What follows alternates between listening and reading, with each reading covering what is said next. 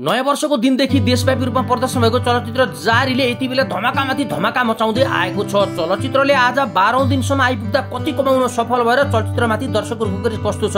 आज यसै विषयमा हामीले खुलेर चर्चा गर्नेछौँ। कृपया भिडियोमा अन्तिमसम्म रहिरहनु होला र भिडियोलाई एक लाइक गरी च्यानललाई सब्सक्राइब गर्न नबिर्सिनु होला दयाहाङ राई मिरुना मगर अभिनीत चलचित्र जारीले पहिलो दिनमा नै दुई करोड भन्दा माथिको बक्स अफिसमा कलेक्सन गरेर धमाका मचाएको थियो भने दुई दिनमै बक्स अफिसमा सुपर हिट साबित भएको थियो। र विभिन्न हिन्दी अनि इङ्ग्लिस चलचित्रसँग प्रतिस्पर्धा गर्दै नम्बर वानमा आउन सफल भएको छ चलचित्र जारी। र चलचित्र जारीले हिजोको दिनसम्म आइपुग्दा करिब करिब नौ करोड बराबरको बक्स अफिसमा कलेक्सन गरेको अनुमान गरिएको छ। किनभन्दा दर्शकहरूले विशेष गरी चलचित्रको कथावस्तुलाई एकदमै मन पराएका छन् र कलाकारहरूको अभिनयलाई पनि दर्शकहरूले एकदमै मन पराएका छन्। वर्ड अफ माउथ एकदमै स्ट्रङ आएको कारणले गर्दा पनि होला चलचित्र जारीले दिन प्रतिदिन राम्रो कमाइ गर्न सफल भएको छ।